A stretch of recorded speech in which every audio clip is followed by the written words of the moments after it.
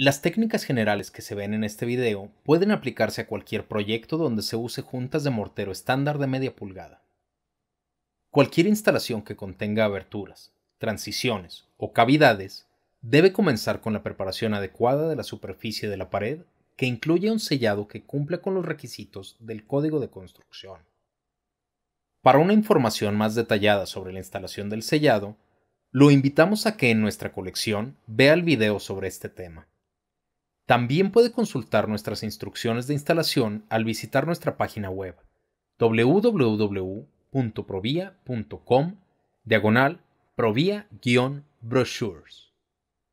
Para aplicaciones de apilado en seco y perfiles panelados tales como el Precision Fit de Provia, las piedras deben estar bien ajustadas y encajadas las unas con las otras. Y por ello en nuestra colección tenemos un video denominado Aplicando la piedra a juntas herméticas la mayoría de las instalaciones comienzan con algún tipo de planificación previa referente al diseño de las piedras que se van a instalar.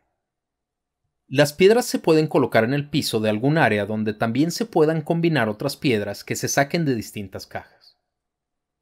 El realizar esto le dará una idea más clara en cuanto a su diseño y le permitirá visualizar mejor su proyecto. Si decide hacer alguna combinación en su diseño, pueda que se tengan que combinar algunas piedras pequeñas con otras grandes, o piedras gruesas con unas delgadas, y así variar las texturas a través de la aplicación. Al crear su diseño, pueda que tenga que recortar algunas de las piedras para que encajen. Para esto, se puede usar un sinnúmero de herramientas que incluyen tenazas, un hacha, un martillo de albañilería, una cuchara para ladrillo o una hoja de hormigón seco en una sierra circular eléctrica. Si su proyecto contiene esquinas, siempre comience con la instalación de las esquinas exteriores. Tenga en cuenta que cada esquina tiene una pieza larga y otra corta. Debe alternarlas yendo hacia la parte de arriba de la esquina de la pared. Cuando se instalen las esquinas interiores, coloque las piedras de tal manera que encajen juntas usando un patrón donde se alternen. Pueda que esto requiera que se recorte la piedra para que encaje. Antes de que se coloquen las piedras planas, se deben terminar las esquinas interiores. Una vez que se hayan instalado las esquinas interiores, trabaje con las piezas planas de adentro hacia afuera. Tenga en cuenta que en cualquier instalación exterior, la piedra debe instalarse a no más de 4 pulgadas de la pendiente final o a 2 pulgadas de una superficie dura como una vereda, la entrada de la casa, etc. Se recomienda el uso de una moldura de goteo o de cualquier otro producto de sellado que cumpla con los requisitos del correspondiente código de construcción. Cuando se instalen piedras de estilo lineal, elige estas piezas de tal manera que se asegure que las juntas verticales no se alinearán. Y para obtener este acabado, pueda que ocasionalmente necesite recortar algunas de estas piezas. Para crear un interés visual, mezcle las piedras.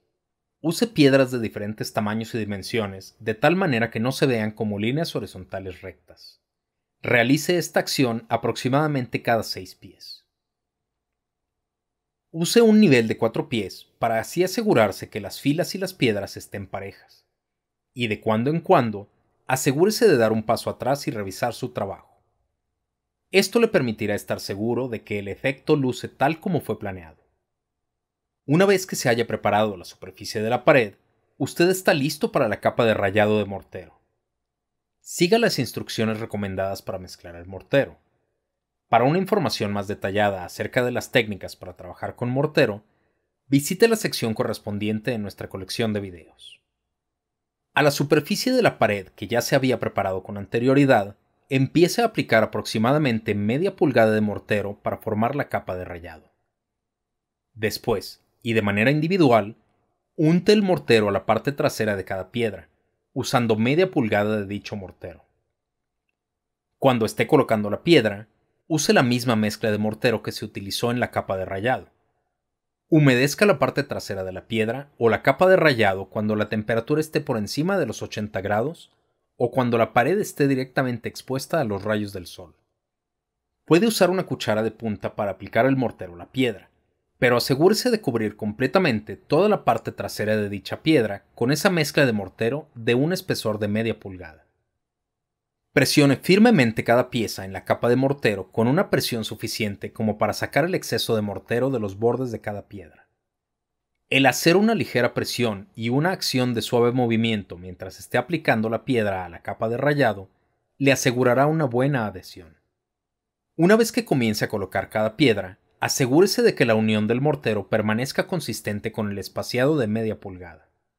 La instalación de la piedra debe alcanzar un mínimo de 50 libras por pulgada para demostrar su resistencia.